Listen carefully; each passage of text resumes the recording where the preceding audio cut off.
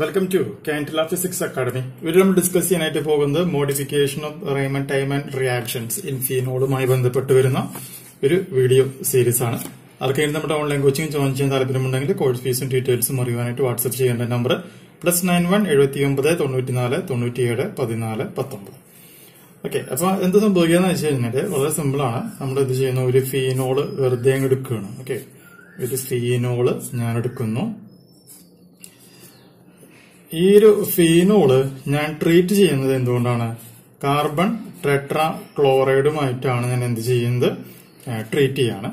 Treat ചെയ്യുമ്പോൾ അവിടെ എന്ത് സംഭവിക്കുന്നു? ഞാൻ ഉപയോഗിക്കുന്നത് ഒരു അക്വസ് എൻ എ ഒ എച്ചും ജസ്റ്റ് ഒന്ന് ചൂടാക്കുകയാണ്. സെൻ അവിടെ ഒരു അസിഡിഫിക്കേഷൻ സംഭവിക്കുന്നു. അങ്ങനെ സംഭവിച്ച് കഴിയുമ്പോൾ നമുക്ക് എന്ത് കിട്ടും?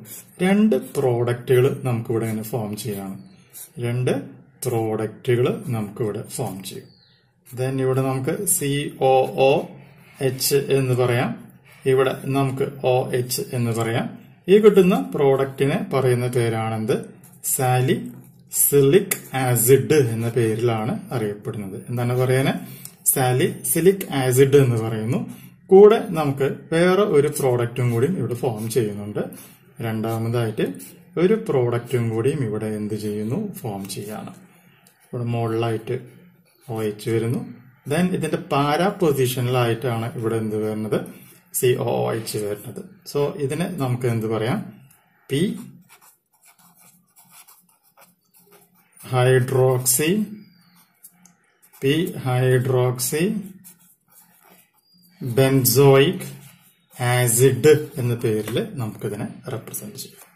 ഇതിനെ നമുക്ക് ഫീനോൾ എന്നിവിടെ മാർക്ക് ചെയ്യാം. അപ്പൊ ഇതാണെന്ത്? Modification of Reimer Tiemann reaction എന്ന പേരിൽ അറിയപ്പെടുന്നത്. അപ്പൊ നമുക്ക് അതിന് ജസ്റ്റ് ഒരു കീ നോട്ട് നമുക്കിവിടെ എഴുതാം. അതായത് ഇത്ര ഉദ്ദേശിക്കുന്നുള്ളൂ. In place of in place of C H C L three carbon tetrachloride carbon tetra chloride has been used has been used to produce has been used to produce a mixture of a mixture of ortho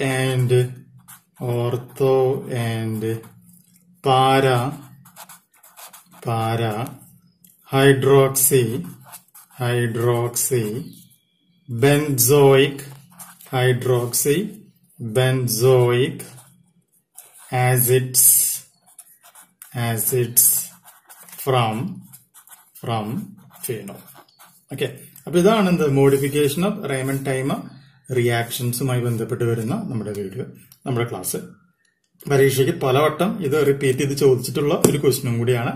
അതുകൊണ്ട് തന്നെ ഈ ഒരു reaction എഴുതി practice ചെയ്യാം okay then അടുത്ത വീഡിയോയിൽ നമുക്കിനി ഇനി തൊട്ട് നമ്മൾ ചെയ്യാൻ പോകുന്നത് ഓരോ പ്രത്യേകം പുതിയ പുതിയ കണ്ടന്റുകൾ അഡീഷണൽ ആയിട്ട് ഫീനോളിനുമായി ബന്ധപ്പെട്ട് വരുന്ന അഡീഷണൽ ആയിട്ട് വരുന്ന കുറച്ചും കൂടി കൂടുതൽ കണ്ടന്റുകൾ നമ്മൾ ഇനി ഇതിൽ വീണ്ടും അപ്ലോഡ് ചെയ്യുന്നതായിരിക്കും.